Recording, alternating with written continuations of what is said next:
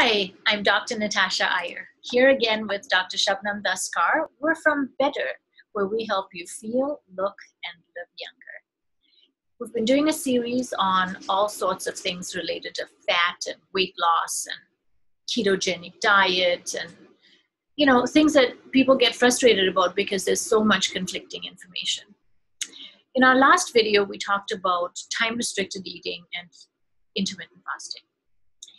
So Dr. Carr is going to explain in very simple terms. See, I blogged about this and I've talked in my newsletters about it, and patients still say to me, I'm confused. Like, I, I don't get what this whole thing is. Like, what's the difference? Isn't it the same thing? Like intermittent fasting and time restricted eating. I'm like, well, they're not the same thing. They're not exactly the same thing. so let's clear all this confusion time restricted eating. Tell us what the data is mm-hmm. and how to do it. Okay. So, time restricted eating basically, uh, and most of this came from, I read an article, this was in 2015, I think. The article came from a research paper which was done by Dr. Satchin Panda at the Salk Institute at uh, La Jolla in California. And the article came out in a very respected journal. So, and the name of the article was, I think, um, something to do with I'll, I'll get the name later on. Something to do with smartphone, uh, using a smartphone app for uh, finding out about you know people's how uh, how erratic people eating people's eating behavior is. So what did they find on that study? Number one is people eat at all times of the day and night. And as Dr. Panda described in, in when he was talking about the study, your your mouth is open as long as your eyes are open. So my mouth is open even longer, I think, because I think I talk in my sleep. Your mouth is open eating, is what he meant. so, anyway, so what they found is uh, so this was a human study, which is fantastic.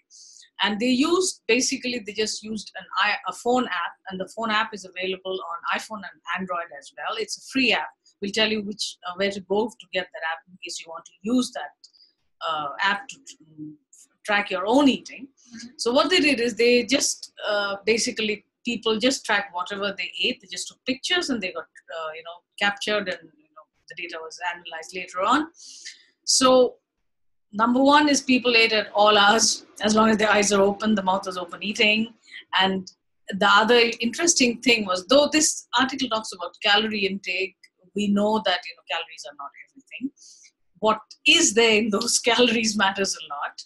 So what happens is a lot of the calorie consumption, so basically a lot of the eating happened in the in the later half of the day.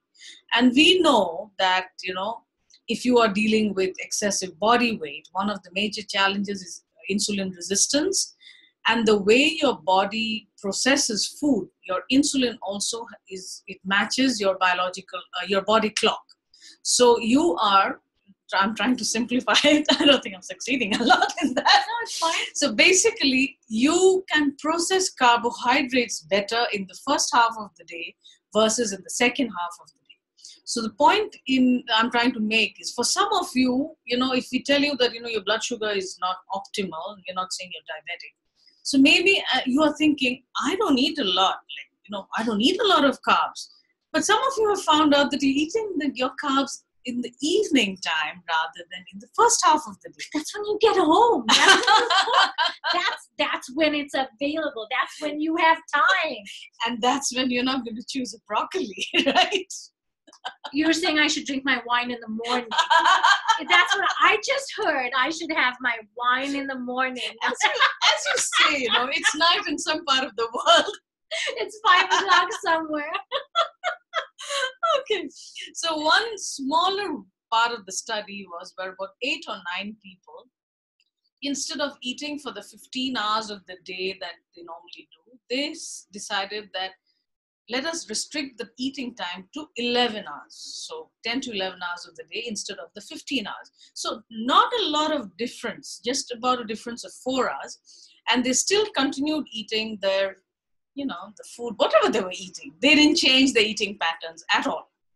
But at the end of the study period, what they found is one thing they had lost weight. Okay. That's fantastic. They had not changed the food they were eating. So can you imagine if you even if you change the type of food you're eating, if you're not eating what is healthy for you now, if you change that, how much of a difference that's going to make?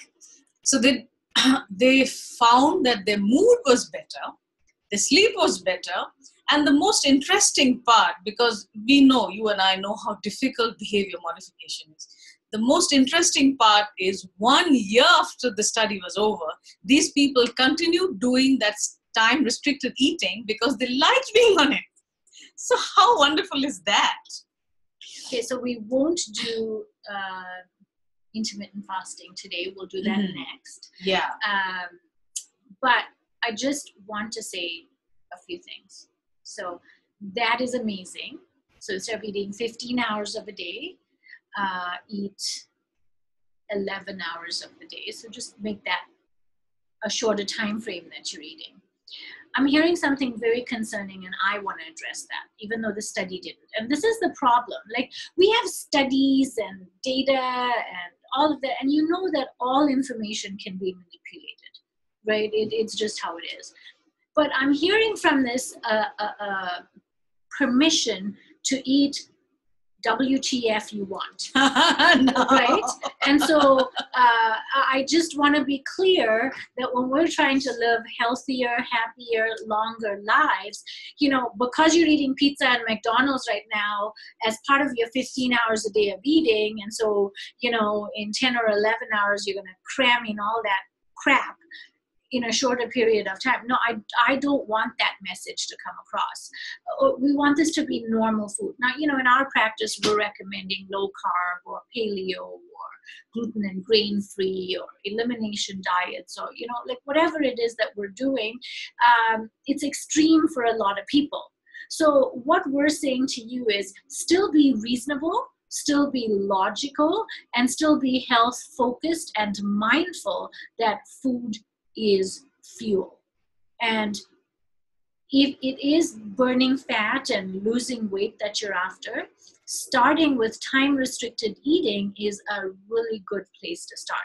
Exactly. What I found for myself was, you know, if I try to just make it past the noon hour into one or two o'clock, going without anything, and then eating whatever I want after that. And my whatever I want is probably my bad day would be the good day some people dream of having as you always say right? Yeah. but i mean let's be clear that we still want to encourage you to live a healthier life. We want you to make better choices. We want you to make better food choices. But for now if you did nothing else just shorten the time frame. I've got some patients who say i, I just won't eat after six o'clock.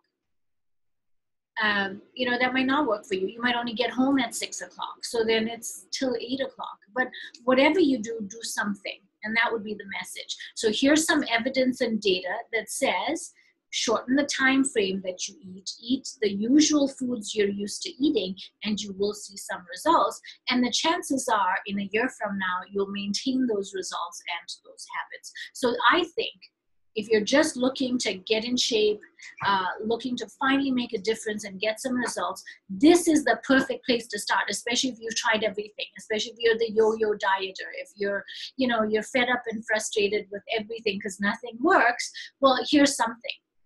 So it's not eat less, but eat over a shorter period of time, which inherently we hope means you're eating less too.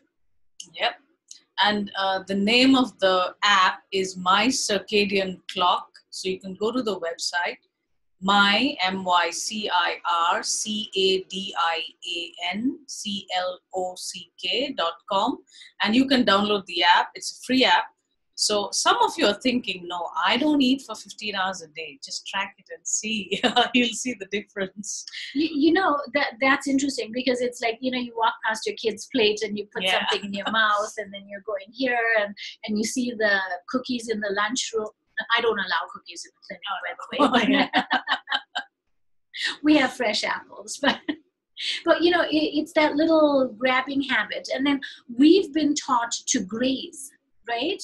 We were told for the longest time five meals a day, mm-hmm. you know, snacking all through the day. All of that is old news, guys. Like it really doesn't hold. It might work for some, but it's certainly not going to work for everyone.